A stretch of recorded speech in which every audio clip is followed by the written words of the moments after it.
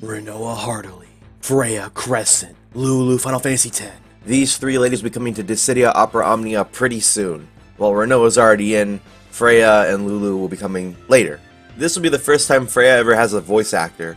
Also, she'll be coming in as part of a story update rather than an event, while Rinoa and Lulu are part of events. That's great and all, but that's not what we're here to talk about today. During their stream, they teased a fourth character who has never been in Dissidia at all, as in it's a new series to Dissidia, like a new Final Fantasy series, so I wouldn't expect Sora or Tubi from this, but I thought it'd be fun to go and try to figure out who this person could be. That's the only hint they really gave us, so we need to look into Dissidia Opera Omnia for some extra clues. We'll be checking the series each character is considered from, specifically with Lion and Serah.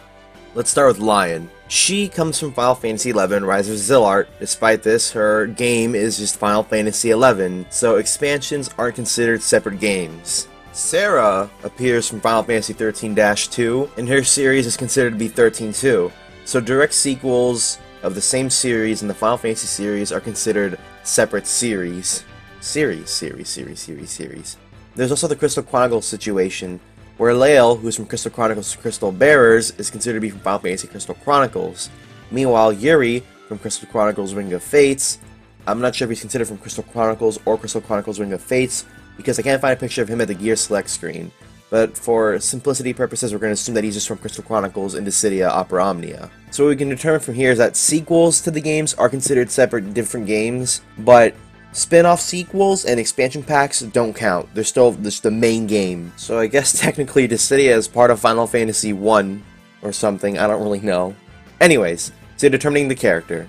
Opera Omnia posted their schedule for this month on their Twitter, and in the very last section, you can see like the new character and their crystal color, which is white. You can also see their silhouette, which is a Moogle right now for some reason. They've never done this before. Usually it's just the character art that they've already revealed at that point. So unless we're getting a Moogle and this entire video is completely pointless and I've wasted about four hours, actually no, it'd probably be more like 10 hours because I've been working on this since yesterday, then I would feel bamboozled. But it probably isn't a Moogle because they haven't given us a quadruped character yet, and they said they don't want to to do it in NT. And that philosophy probably carries over to Opera Omnia, because we haven't gotten any animal characters, at least technically like real animals. We have Cait but Cait doesn't count because they're on a doll, and the doll's really the character that you're playing as, I guess, or the weapon. I'm not sure. Cait is weird. Let's leave it at that. But we haven't got an animal character yet, so we're not gonna get a Moogle. One thing I noticed is that with the characters they revealed, Rinoa, Freya, and Lulu, is that all three of them are in order: 8, 9, 10. Comes after 10, 10-2. Whose hair color is also white and only from 10-2? Paine. That being said, crystal color doesn't really matter anyway. For example, Rem has green, Vivi has black, Terra has green, Ida has green, Steiner has green. What's the correlation? There is none. Rarely does it make sense, like giving Cloud blue because he has blue eyes, or giving Warrior of Light white because it deals with holy and he's, you know, all about the light or whatever. So I really wouldn't take the crystal color thing as like a prime indicator that it's going to be Paine. But, I mean, I guess it's something towards her. The last piece of information that could possibly be hinting towards her is that she's a girl. We have three girls right now.